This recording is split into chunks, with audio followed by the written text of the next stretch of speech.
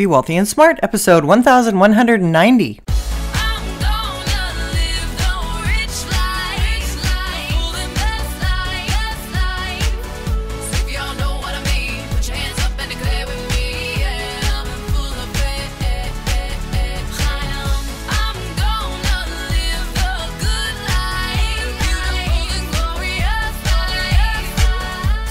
A world of wealth and financial freedom without budgets, boredom, or bosses on Be Wealthy and Smart.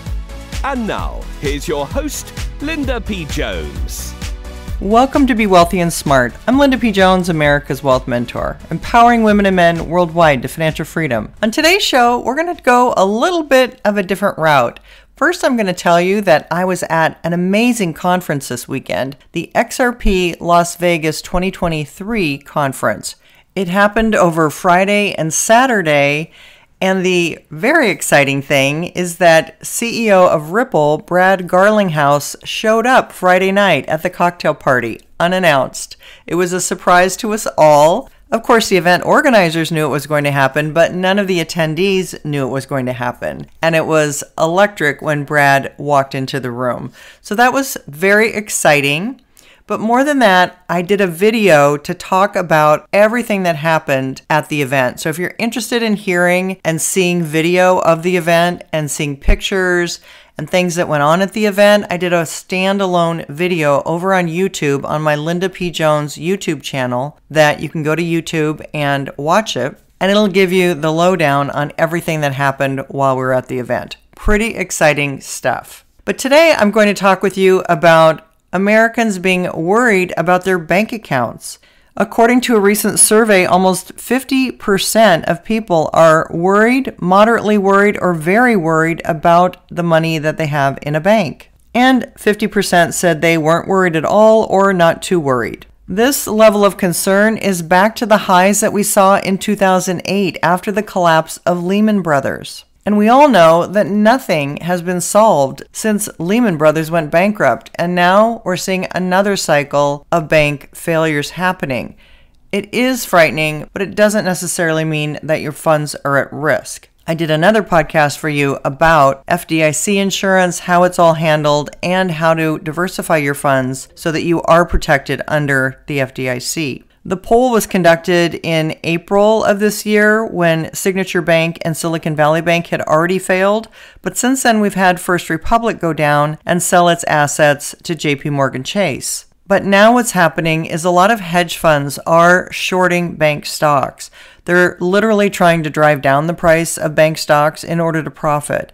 And that's making the bank stocks look weaker, like PacWest, which is down 86% this year. Is that the next bank to go down?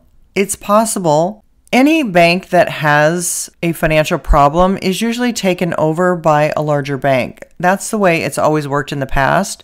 Is a larger bank comes in and basically takes over their assets and sometimes their liabilities, but we all know that the FDIC backs $250,000 per depositor. I was commenting to a friend at dinner last night that it's a little odd to me that the Fed isn't being more demonstrative about the fact that your funds are safe and that they're not out there saying we're going to backstop every single asset in the banking system and make sure that all is secure.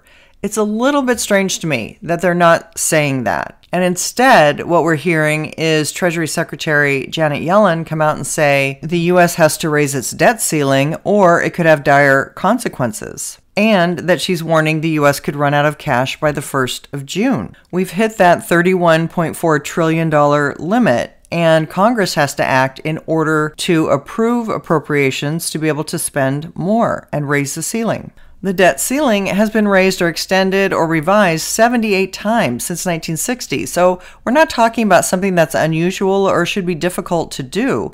Now, sometimes they've been a little delayed doing it, but Congress has always come together and raised the debt ceiling. But now we're even getting talk about a default, which would be the first in US history, which would wreak havoc on global markets and shatter trust in the United States as a global business partner. It also means that the US wouldn't be able to borrow any money or pay the salaries of government employees and military personnel, or Social Security checks or other obligations, such as defense contractor payments. Janet Yellen said, quote, We have learned from past debt limit impasses that waiting until the last minute to suspend or increase the debt limit can cause serious harm to business and consumer confidence, raise short term borrowing costs for taxpayers, and negatively impact the credit rating of the United States. But she said it's impossible to know for sure when exactly the U.S. will run out of cash and the Congressional Budget Office said there's a significantly greater risk that the Treasury will run out of funds in early June. But they said the projected exhaustion date remains uncertain because the timing and amount of revenue collections and outlays over the coming weeks are difficult to predict. So, what the Treasury is planning to do is to increase their borrowing through the end of the quarter, ending in June, totaling about $726 billion, which was about $440 billion more than projected earlier this year. And officials have said it's partly due to lower than expected income tax receipts, higher government spending, and a beginning of quarter cash balance that was lower than anticipated. So, whether or not Congress is going to get their act together, we don't know. But Janet Yellen said the Treasury Department has begun extraordinary measures to avoid a government default. What that means, we're not sure, but I'll keep reporting on it to you and we will soon find out. That's all for today. Until next time, live the good life and be wealthy and smart. Thank you for listening to Be Wealthy and Smart with Linda P. Jones. Share the wealth and tell your family and friends about the show.